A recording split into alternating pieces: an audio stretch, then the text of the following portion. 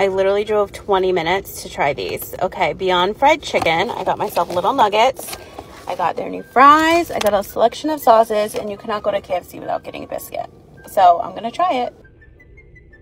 Okay, so per my usual high maintenance self, I mixed the honey barbecue with the hot sauce. I dipped a fry in it, and it was delish. Their their fries are new too, but now I'm gonna make a sandwich with my biscuit and really go to town. So far, so good. All right, this is definitely gonna be messy, but I'm so excited about it. This is definitely a very hearty situation.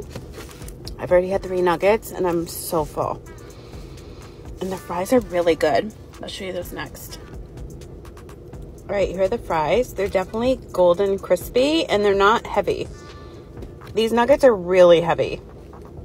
Um, but it's good. I don't know if it's because I'm working out again or these are just super filling.